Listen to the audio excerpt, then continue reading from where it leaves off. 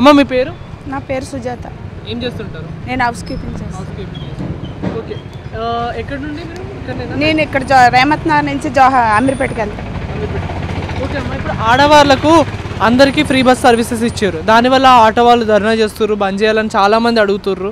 అది అది రైట్ అంటారా? అది కరెక్టే కదా మరి వాళ్ళకి కూడా బతుకు వేరు కావాలి లేదంటే ప్రభుత్వానికి కూడా చాలా నాశ అవుతుంది. మేము కొంచెం మేము బతకాలి వాళ్ళు కానీ ఇంకేదైనా చేస్తే బెస్ట్ అనిపిస్తుంది.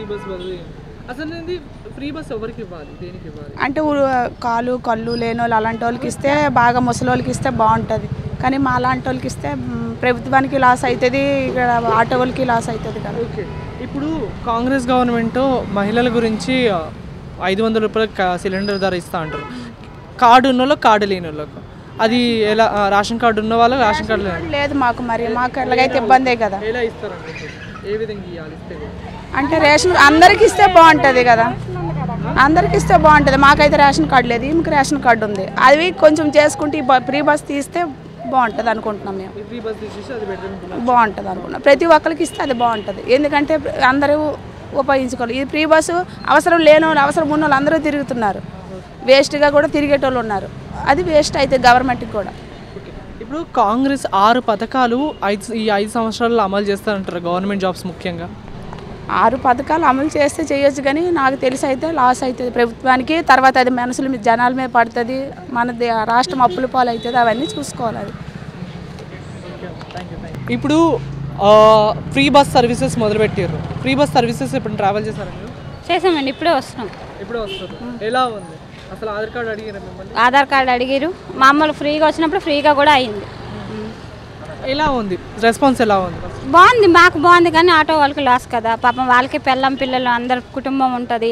ఇది రేపు పొద్దున మనకే వస్తుంది మళ్ళీ. ఇది బడ్జెట్లో వస్తుంది. మళ్ళీ మన మీదకే వస్తుంది ఎందుకు ఇది షాపింగ్లకి వాటికి వీటికి వెళ్ళడమే తప్ప ఇది ఉపయోగం ఏముంది? ఇరవై రూపాయలు ముప్పై రూపాయలు సేవ్ ఏం అవ్వదు కదా. ఇప్పుడు ఫా ఫార్టీ రూపీస్ వస్తుంది. ఫార్టీ రూపీస్కి ఏం సేవ్ చేస్తాం మేము? అదే గ్యాస్ తగ్గించారు అనుకోండి అందరికీ బాగుంటుంది. నిత్యావసరాలు తగ్గిస్తే అందరికీ బాగుంటుంది. వీళ్ళు వాళ్ళు అనుకున్నా అందరికీ అయితే పెట్టాలి. అన్ని పథకాలు పెట్టినవి. బాగుంటుంది ఇంకా. ఇప్పుడు ఆరు పథకాలు ఖచ్చితంగా అమలైతే అంటారా? తెలంగాణ తీసుకొచ్చింది గవర్నమెంట్ జాబ్స్ గురించి. ఇప్పుడు రేవంత్ రెడ్డి గారు ఏమంటారు అంటే గవర్నమెంట్ జాబ్స్ ఈ ఆరు నెలలు ఇస్తామంటారు. ఖచ్చితంగా అవుతుంది అంటారా బీఆర్ఎస్ ప్రభుత్వం? వస్తే మనందరికీ అదృష్టమే కదా బాబు రావాలని కోరుకునేది అందరూ. ఓకే. ఇవన్నీ బోగస్ మాటలే మాయే కాపీ కొట్టిరని కేటీఆర్ గారు అన్నారు మొన్న. అది రై రైటేనా? బీఆర్ఎస్ కాపీ కొట్టిరని అంటారు ఎవరైనా ప్రజల కోసమే చేస్తారు. ఎవరు చేసినా మంచిదే. ఆయనకు మనం అనే రు- రూల్ కూడా మనకు లేదు ఆయన దగ్గర అంత లేదు. వారి పరిపాలనలో కూడా మనమే ఉన్నాం వీరి పరిపాలనలో కూడా మేమే ఉన్నాం. అది ఆ దేవుడినేనే వాళ్ళనే థ్యాంక్స్ నాన్న. సార్ మీ పేరు? వెంకటేశ్వరం ఏం చేస్తుంటారు? నేను కొబ్బరి బొండలు కొబ్బరి ఓకే.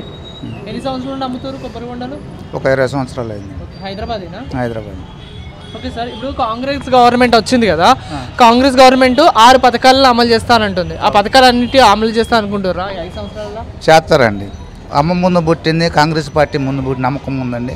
ఆ నమ్మకం మీద మంచి పిల్లలు మంచి భవనంలో నిండు మనసుతో ఆదర్శంగా కసిగా పనిచేసి రేవంత్ రెడ్డి గారు మంచి పిల్లలు మంచి భవనంలో అందరికీ నీ నీతి నిజాతిగా ఎవరైతే ఉన్నామో అటువంటి వ్యక్తులకి శక్తిని ఇవ్వాలని చెప్పేసి ఆయన ముందంచెలో ఉంటాడండి. ఓకే. ఇప్పుడు ఐదు వందల రూపాయలకే గ్యాస్ ఇస్తా అని అంటున్నారు అది కార్డు ఉన్న వాళ్ళకైనా కార్డు లేని వాళ్ళకైనా కానీ. అది ఎలా ఇస్తారు అనుకుంటారు అది ఇవ్వాలి అందరికీ. కార్డు ఉన్న వాళ్ళకనే చెప్పేసి అన్నారు ఇప్పుడు కొన్ని సిలిండర్ కూడా ఆర్డర్ ఇచ్చారు. అది ఒక వంద రోజులు ఏమో టైం పట్టిద్ది అంటున్నారండి. అది కూడా నేను నోట్స్లో చూశాను.